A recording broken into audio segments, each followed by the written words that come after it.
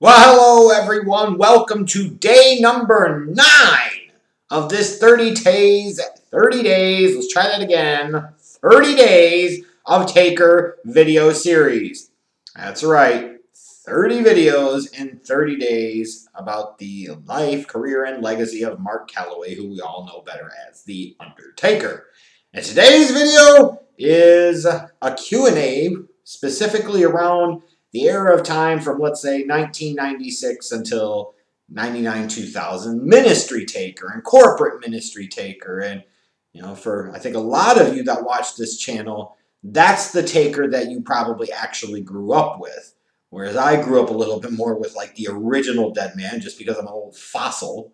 Um, but there are a lot of you like that you're in your late 20s early 30s like this is the taker that resonates the most with you. This is the taker that a lot of you enjoyed the most. And certainly a lot of fun and crazy things for this during this period of time in Taker's career. So thanks to all of you that took to Twitter at OTRSCentral is the Twitter handle, and you should follow uh, to ask your questions. We'll do a couple more Undertaker related Q and A's throughout the month, and make sure you smash that subscribe button so that way you get updated anytime that I do another one of these 30 Days of Taker video series. Horror Movie Review 73 is going to kick us off by asking, did you enjoy Austin and Taker's on and off rivalry in 1998 and 1999? Also, where would you rank Austin in terms of Taker's best rivalries? I got the Austin Taker rivalry, like some of the some of the segments and the the segments, skits, some of those things like they were good. The matches, I don't know that they were all that good. In terms of Taker's rivalries, I wouldn't put Austin in the top five. Like, it's a notable one that he had in that period of time in his career, but I don't think it's one of the best that he ever had for sure. Um, Power Spyin' One asked, which theme was better, Dark Side in 1998 or the Ministry theme in 1999? Now, that Ministry theme in 1999, if I remember correctly, that's the one that had uh, Taker kind of like speaking in tongues and shit, right? Because if that's the one I'm thinking of, then that is absolutely the one. Like, nothing wrong with the 98 theme. Like, a lot of good themes um, that Taker had during that time. And, and I probably lean a little bit more towards the ministry one. Uh, James Faluca, thoughts on Mania 13 and if Taker should have faced Mankind instead? Because, come on, as much as you love Sid as I do, he had no business being in that main event. Would Mankind have shit his pants in the main event of a WrestleMania? Sid did. So no. Sid was fine. Leave Sid alone. If you want to say based off of the story and issue that Taker and Mankind had in 96, you know, should they have maybe faced at WrestleMania 13? Maybe. But it would have been a long time to draw it out from you know the summer to get all the way to the next end of winter spring.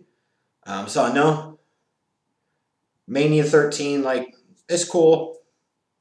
It should have been Sid and Taker. Rick Styles 1985. Do you think the WrestleMania 13 main event would have been better if it was Vader versus Taker for the title? I do not. I don't know how well those dynamics would have worked. I'm not sure how well that story would have worked and you're asking me to pick somebody over Sid. Come on now. Rick! Rick! Psycho Sid! You want me to pick somebody over Psycho Sid? We're live, pal! No. MJ, make a podcast. Where does Taker versus Mankind feud rank with you um, amongst Taker's all time feuds? In terms of his all time feuds, it's number two. Kane's got to be number one, doesn't it?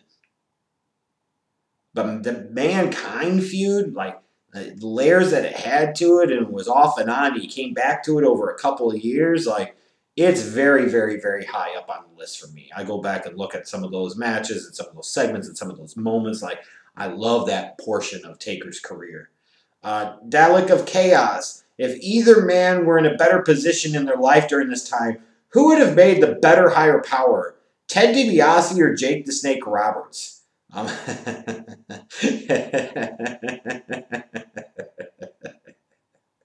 higher power.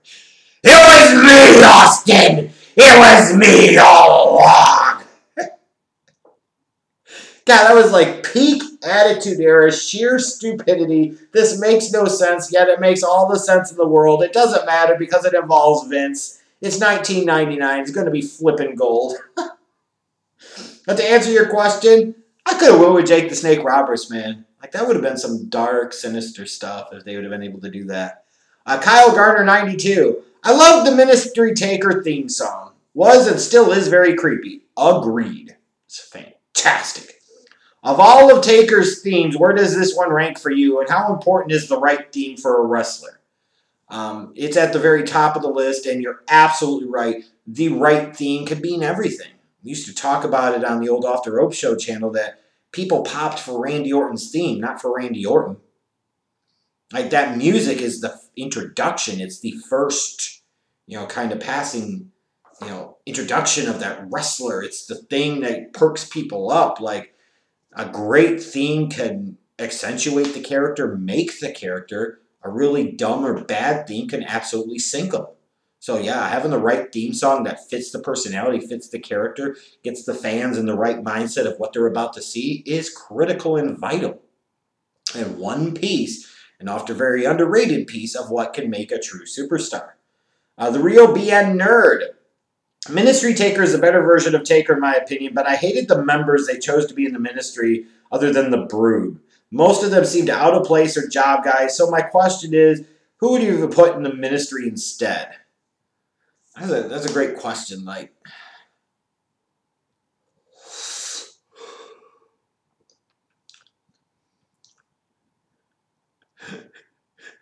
you just don't want to admit that you love Mideon and Viscera, do you? um, hmm. I don't know. I have to think about that one. I really don't know who else I would have put in there. Like at the end of the day, it was about Taker anyway, so what difference did it make? Wheels 1987 asks, on a scale of 1 to 10, how would you rate Undertaker's sweatsuit during his work shoot on Raw in 1998? that, his sweatsuit game was on point that night. I'll give him a 10. That was fantastic. Like, see Taker come out like that, you're like, what in the hell? WAPW Wrestling. Was breaking up Undertaker and Paul Bearer at SummerSlam 1996 done at the right time or done too soon? Uh, when you look at what happened in 96, it was absolutely the right time to do it. You broke apart Taker and Paul Bearer before the act got stale and stagnant.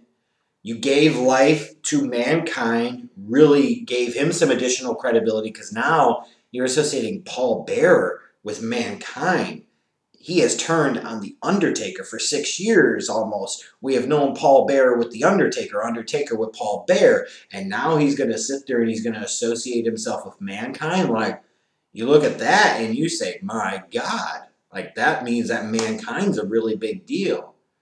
You know, and it eventually set the table later on down the road for the debuting of Kane in 1997. Um, it was absolutely the right time. Absolutely.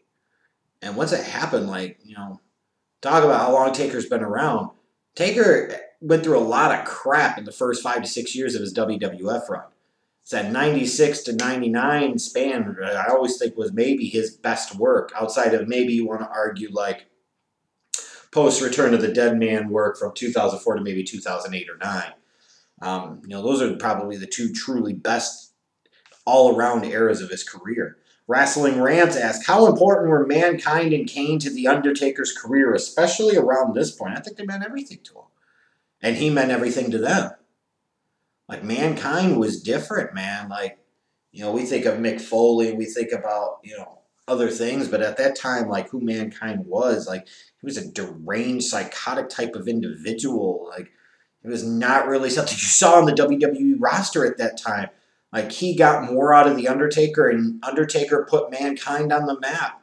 And then when you talk about Kane, like Kane helped get more out of the Undertaker. You were able to tell more layers to the Taker story, do more things with the character, and all the while Taker immediately made Kane. Like think about it like this: if you would have sent Mankind in his very first like program, like his long term program, you'd have carried months and months in '96, let's say, and it would have been Bret or Shawn, and that would have been the story.